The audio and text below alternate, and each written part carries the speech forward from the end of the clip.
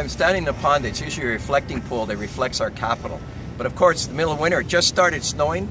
The pond is empty. You see the Capitol with all the scaffolding. They're doing a lot of renovation work on the Capitol. We just heard the Taft bells chiming the hour. Um, but what a chicken skin moment for me, you know, being up here in the nation's capital and listening to the State of the Union speech, a guest of our senior, uh, of our Senator Mazie Hirono, um, hearing our president, Barack Obama, a native-born Keiki o ka Aina, talking at the end of his speech about Hawaii building being the melting pot of all races and a place of great equality and the fact that he comes from this place and is appealing to the nation on racial issues to come together gave me chicken skin, made me so proud to be mayor of the city and county of Honolulu.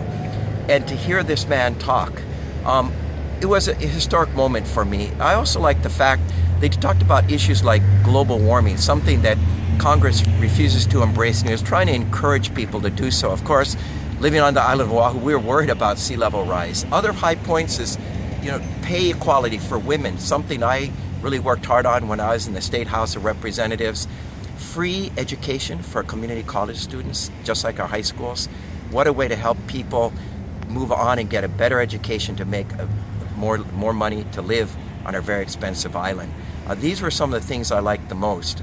I'm also up here on business um, for the U.S. Conference of Mayors, and I took some time away this morning to meet with Peter Rogoff, the Undersecretary of U.S. Department of Transportation. He used to be the administrator for the Federal Transit Administration. We met with him to talk about our cost increases. Came away feeling very positive. He's 100% supportive of the project. Um, he shares our concern about finding money. He's willing to help us find additional sources of revenue, like perhaps highway funds, federal highway funds that could be used to help with utility relocations.